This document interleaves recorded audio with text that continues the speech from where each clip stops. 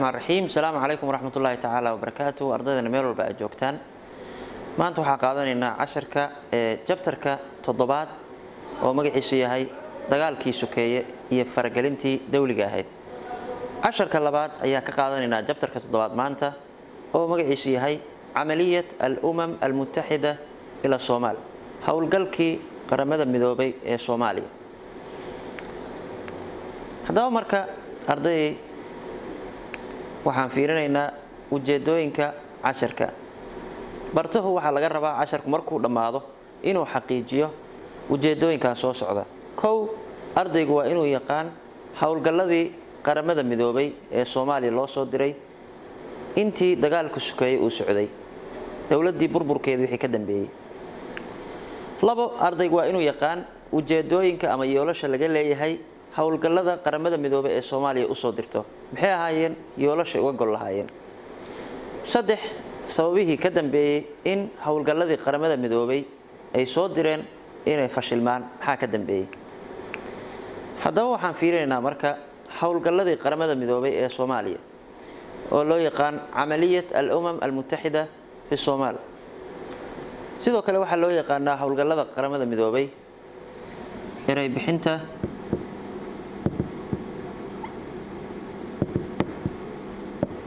alunisom unisom ayaa loo yaqaanaa. Unisom waxaa loo soo gaabiyey united nation operation in somalia. Howlgalka qaramada midoobe soomaaliya. Qaramada midoobe laba howlgal ayay ka fuliyeen soomaaliya. Sidaa daraaddeed waxaa loo kala bixiyaa unisom one iyo unisom waxay noqonaysaa two. Alunisom waaxid iyo alunisom isnayn haddii luqadda carabiga si kale loogu dhigo waxaa la yidhaahdaa camaliyat al-umam almutaxida al-uulaa fi somaal howlgalka koowaad ee qaramada midoobay labo kan kalena waxaa leeyahay camaliyat al-umam almutaxida athaaniya fi somaal kadib dowladdii dhexe dowladdii milatary markay dhacday dagaaladii sukeeye ee qarxeen qaramada midoobay ayaa waxay faragelisay oo soo gashay ee dalka soomaaliya. Golaha ammaanka ayaa wuxuu soo saaray in loo diro guddi. Guddigaas marka ama howlgalka in laga fuliyo qaybtii koowaad ii ayay bilaabatay oo waxaa loo bixiyey unisom one. Howlgalka koowaad ee qaramada midoobay ee soomaaliya laga fuliyey wuxuu la magac baxay marka unisom one. Howlgalkii koowaad kaasoo bilowday guud ahaan marka howlgalkii koowaad muxuu ahaa ajandihiis. In dadka kaalmo la gaarsiiyo dadkii meesha ku dhibaataysnaa oo dagaaladii sukeeye ay saameeyeen. Labo in nidaamkii la soo celiyo dalka. Saddex kala dambaynta iyo dowladnimada in la ilaaliyo la kala dhex galo ee xilligaas qolyihii is-haystay ee maleeshiyaadkii. Haddaba marka waxaa la yihahdaa labadii qaybood ee qaramada midoobey loo soo kala diray.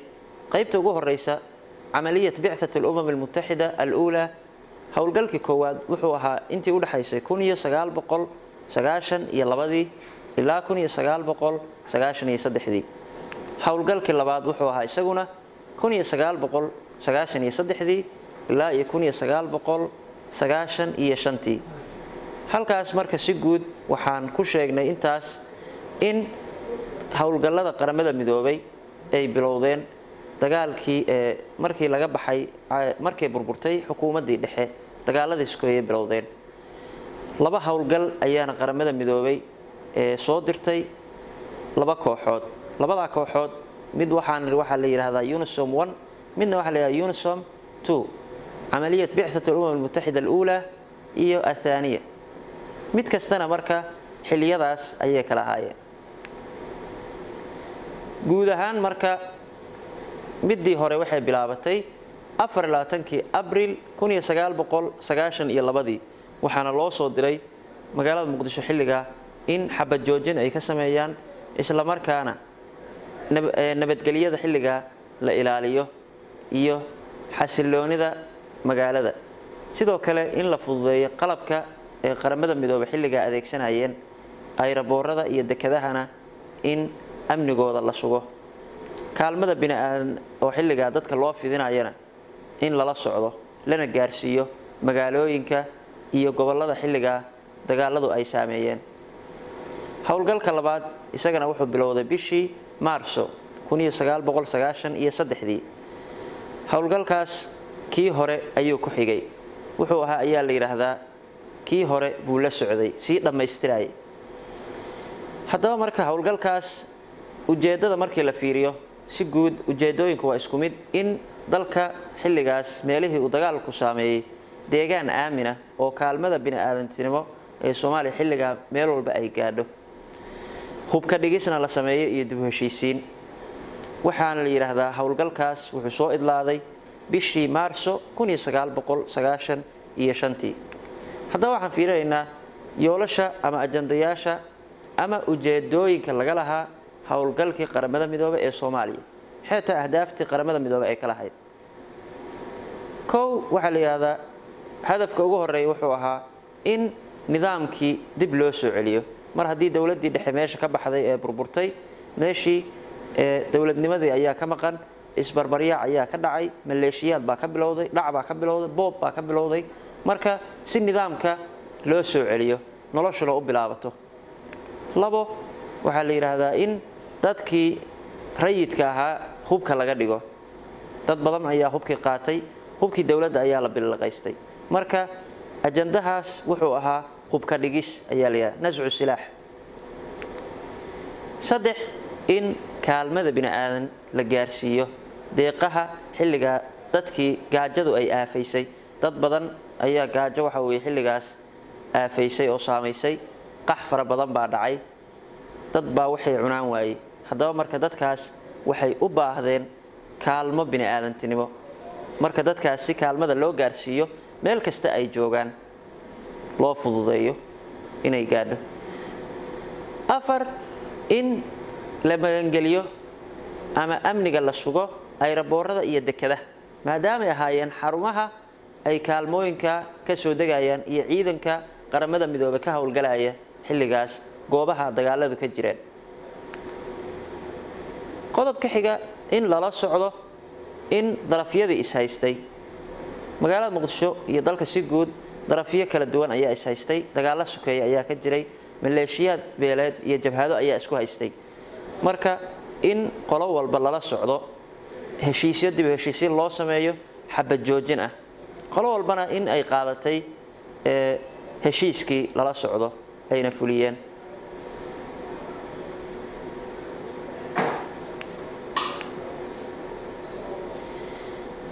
sababihii marka waxaan fiirinaynaa ka dambeeyey howlgalka qaramada midoobey soomaaliya inuu fashilmo. Maxaa ka dambeeyey howlgalladii qaramada midoobey labada qaybood la soo kala diray ee muddana socday. Intii u dhaxaysay kun iyo sagaal boqol sagaashan iyo labadii ilaa kun sagaal boqol sagaashan iyo shantii. Howlgalladaas ayaa la yidhaahdaa natiijooyinkii laga filaayey ma aysan gaarin baa la yidhahdaa sababo jira awgood. Sababahaas waxaa ka mid ahaa ayaa la yidhahdaa kow. Ciidamadii qaramada midoobay xilligaa ciidamo ayaa jira howlgallada la soo diray oo dalal badan isugu jiray. Dhowr iyo dal ayay gaaraan. Ciidamadaa marka hoggaan ayay lahaayeen. Waxaa la yidhahda marka waxaa ka dhacday meeshii amardiido ciidankii iyo hoggaankoodii inay isku gacan sayraan oo amarkii la kala qaadan waayo oo ciidankii maadaama ciidan walba uu dal ka socday ilaa dalkiisii uu la tashto uu ku warceliyo inuusan go'aan iyo amar uusan qaadan. Marka layskuma xirnayn.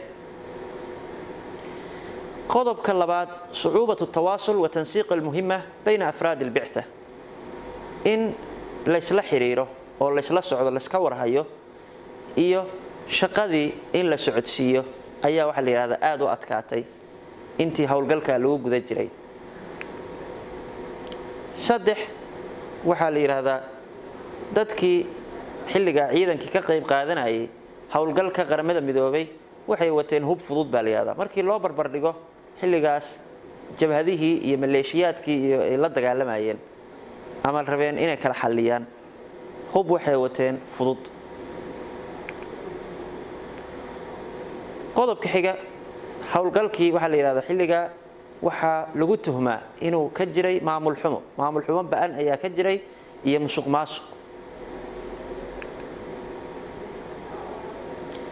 Qaramada midoobey waxaa la yidhaahdaa howlgalladeedu kooxihii is-haystay hogaamiyal kooxeedyadii iyo maleeshiyaadkii kama aysan helin baa la yihahda wax ogolaansho ah. In ay soo dhex galaan ama meelaha qaybtood ay tagaan way ku adkeed. Waayo maleeshiyaadkii xilligaa uma aysan ogolayn